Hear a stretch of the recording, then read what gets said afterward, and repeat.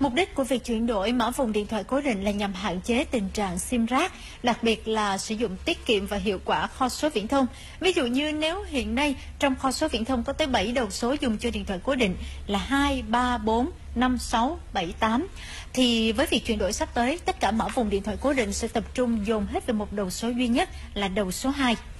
À, còn 6 đầu số còn lại là từ số 3 đến số 8 thì sẽ được chuyển dùng cho điện thoại di động, điện thoại internet cho Bộ Công an, Bộ Quốc phòng để thực hiện à, và bên cạnh đó thì để phục vụ cho việc là dự trữ phòng.